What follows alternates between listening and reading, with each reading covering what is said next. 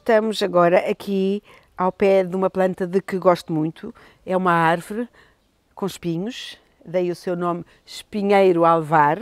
ou pilriteiro, ou crataegos, crataegos monogina. Uh, isto é uma árvore muito comum no Mediterrâneo, mas também nos países mais, mais para norte, uh, e é usada para fazer sebe justamente por causa desses espinhos, para que os animais não passem de uma propriedade para outra. Eu coloquei aqui na, a fazer também uma espécie de, de sebe aqui na minha pérgola, uh, porque gosto muito dela, porque na primavera ela fica cheia de florzinhas brancas e no outono depois fica cheia de frutinhos vermelhinhos, que são os pilritos. Ok.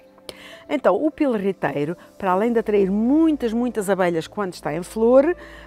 um, depois os frutinhos, que são muito, muito ricos em antioxidantes, em vitamina C, têm muitas propriedades medicinais, são grandes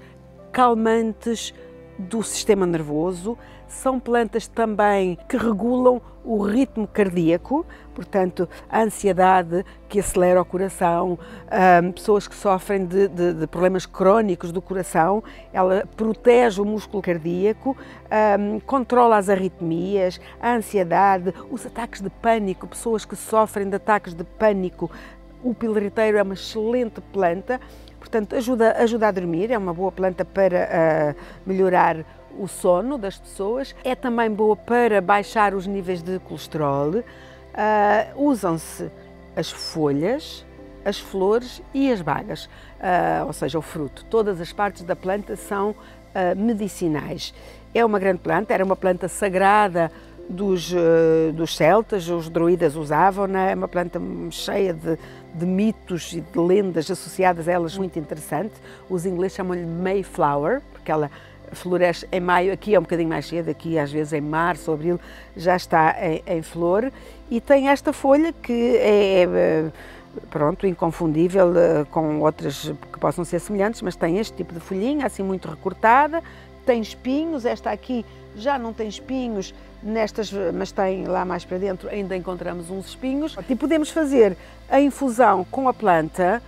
verde ou com a planta uh, seca, já desidratada, ou podemos fazer um extrato alcoólico, que é colocar as folhas bem picadinhas, verdes, uh, também pode ser secas, mas verde é sempre mais eficaz, em álcool e deixar um mês, um mês e meio no escuro, tapadinho, depois coam-se as plantas, rotula-se e toma-se 25 gotas, mais coisa, menos coisa, diluídas num bocadinho de água, à noite, para pessoas que sofrem de ansiedade, e agora, nesta época, há muita gente com esse problema, se não se sentirem seguros na identificação do pilriteiro, para não ir, não, não podem apanhar em espaços públicos, obviamente, no meio da cidade, em Lisboa há bastantes, compram, já feitos, existem extratos alcoólicos Uh, eu prefiro aos comprimidos, mas isso sou eu. As cápsulas são o pó da planta, é um bocadinho mais difícil de digerir, portanto, eu prefiro sempre uh, a planta em extrato, até porque o álcool extrai muitas vezes muito mais compostos do que fazer uma infusão, por exemplo. Há compostos que são mais facilmente extraídos num, num, meio alcoólico do que, do que propriamente uh,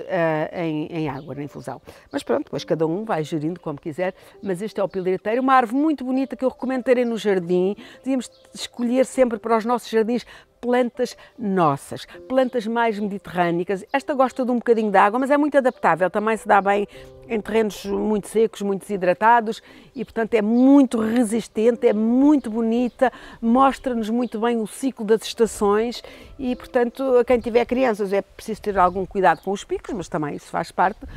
Um, mas é uma, é uma árvore, é uma árvore de pequeno, médio porte.